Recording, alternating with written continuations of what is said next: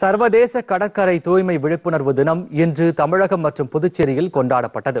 இதையொட்டி சென்னையில் நடைபெற்ற மாரத்தான் நிகழ்ச்சியில் மத்திய இணையமைச்சர் எல் முருகன் பங்கேற்றார். புதுச்சேரியில் கடற்கரை தூய்மை தின கொண்டாட்டத்தை துணைநிலை ஆளுநர் தமிழிசை சவுந்தரராஜன் தொடங்கி வைத்தார். சர்வதேச கடற்கரை தூய்மை விழிப்புணர்வு தின மாரத்தான் ஓட்டம் இன்று சென்னையில் நடைபெற்றது. மத்திய தகவல் ஒலிபரப்பு மீன்வளம் கால்நடை பராமரிப்பு மற்றும் பால்வளத்துறை இணை அமைச்சர் எல் முருகன் இந்த நிகழ்ச்சியில் கலந்து கொண்டு உரையாற்றினார்.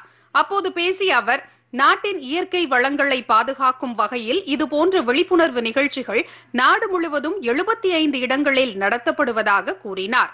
இயற்கை வளங்களை பாதுகாக்க மத்திய அரசு தீவிர நடவடிக்கைகளை எடுத்து வருவதாகவும் அவர் தெரிவித்தார். கடல் வளத்தை பாதுகாக்க மக்கள் அனைவரும் உறுதியேற்க வேண்டும் என்றும் அமைச்சர் எல் முருகன் கேட்டுக்கொண்டார். கடலினுடைய இயற்கை வளத்தை பாதுகாப்பதில் நம்முடைய ஒவ்வொருவருடைய கடமையும் பொறுப்பும் இருக்கிறது. அதை உணர்த்தும் விதமாக இன்றைக்கு இந்த சர்வதேச கடல் தூய்மைப்படுத்தும் தினத்துல இந்தியா முழுவதும் 75 ஐந்து இடங்களில் கடல்களை அந்த கடற்கரையை சுத்தப்படுத்தும் பணியும் இன்றைக்கு நடைபெற இருக்கிறது. அதே நேரத்தில் அதற்கு ஒரு முன்னோட்டமாக மக்களிடத்தில் ஒரு விழிப்புணர்வு ஏற்படுத்த வேண்டும் என்பதற்காக கடல் வளத்தை பாதுகாப்பது கடற்கரையை பாதுகாப்பது அதோட விழிப்புணர்வு ஏற்படுத்துவதற்காக இன்றைக்கு இந்த தொடர் ஓட்ட போ- போட்டியானது இங்கு நடைபெற இருக்கிறது. இதனைத் தொடர்ந்து நடைபெற்ற சர்வதேச கடற்கரை தின விழிப்புணர்வு மாரத்தான் ஓட்டத்தில் அமைச்சர் எல் முருகன் பங்கேற்றார். மாணவ மாணவிகள் தன்னார்வலர்கள் பொதுமக்கள் உள்ளிட்டோரும் நிகழ்ச்சியில் பங்கேற்றனர்.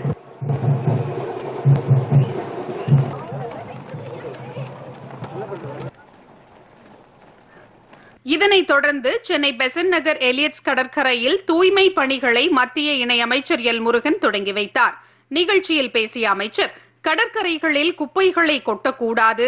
குறிப்பாக ஒருமுறை மட்டுமே பயன்படுத்தக்கூடிய பிளாஸ்டிக் பொருட்களை மக்கள் முற்றிலும் தவிர்த்திட வேண்டும் என்று வலியுறுத்தினார்.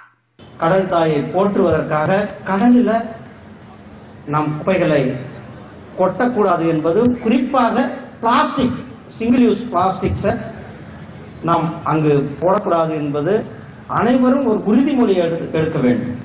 நாம் பீச்சுக்கு போகிறோம் பீச் சுற்றி பார்க்குறோம். நம்ம எதையும் தூக்கி போடாம அல்லது அங்கே இருக்கிற ஏதாவது வேஸ்டேஜ் இருந்தால் அதை நம்ம எடுத்து வெளியில போடுறது.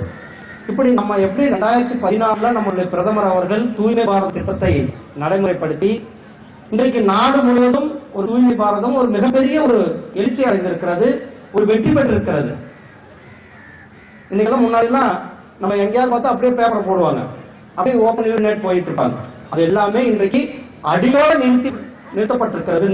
நம்முடைய பிரதமர் அவர்களுடைய முழு நடவடிக்கையாக கடற்கரையை தூய்மைப்படுத்தும் நிகழ்ச்சியில் அமைச்சர் எல் முருகன் மற்றும் தன்னார்வலர்கள் மாணவ மாணவியர் உள்ளிட்டோர் பங்கேற்று குப்பைகளை சேகரித்தனர்.